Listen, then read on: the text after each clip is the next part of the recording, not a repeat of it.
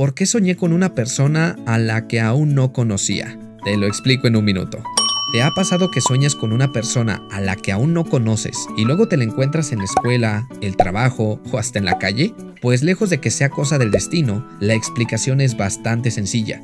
Mientras duermes, tu cerebro utiliza la información obtenida durante el día, más la que se encuentra en tus recuerdos, para generar los escenarios con los que sueñas. Sin embargo, es incapaz de generar escenarios completamente nuevos, por lo que no puede mostrarte lugares, sonidos, colores o rostros que no se parezcan a cosas que hayas visto antes. Lo mejor que puede hacer en ese sentido es generar caras a partir de una mezcla de los que ya has visto en la vida real, utilizando incluso aquellos a los que tú no prestaste mucha atención, pero que tu cerebro registró de todos modos.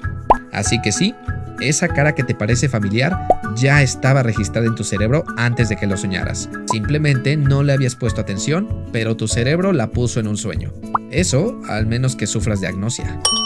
Pero ese es tema para otro video. Hasta la siguiente semana.